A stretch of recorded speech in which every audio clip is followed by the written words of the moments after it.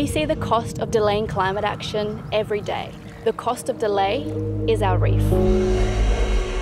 The cost of delay is our farms that grow your food. The cost of delay is our health. Climate solutions are proven and are replacing fossil fuels around the world. We could all breathe easier if our government was doing enough. Authorised by Kelly O'Shanassy, Australian Conservation Foundation Incorporated, Melbourne.